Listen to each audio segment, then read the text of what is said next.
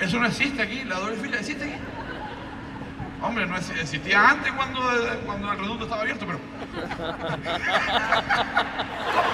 Con risas, buen ambiente familiar y sin ningún contratiempo se desarrolló el pregón de Arrecife para dar el pistoletazo de salida a los carnavales de la capital que contó este año con el humor de Quique Pérez.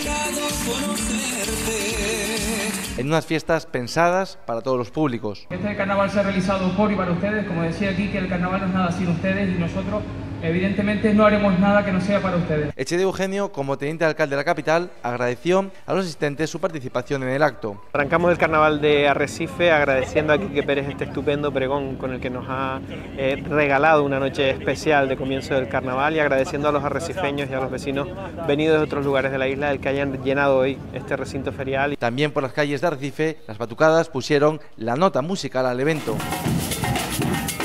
Todo ello para un 2024 que contará con 17 días de fiesta y un amplio programa para pequeños y mayores. Mañana sábado día 3, desde las 12 de la mañana hasta las 12 de la noche, se desarrollará el carnaval itinerante en las inmediaciones del Gran Hotel, donde habrá música, ventorrillos, al igual que en el Parque Ramírez Cerdá. A partir de la medianoche, la fiesta se trasladará en este caso a la Recoba y durará hasta las 2 de la mañana. Ya para el domingo, día 4, concurso de disfraces infantiles a partir de las 5 de la tarde en Agramar y a las 6, baile de mascaritas para los mayores en la Recoba.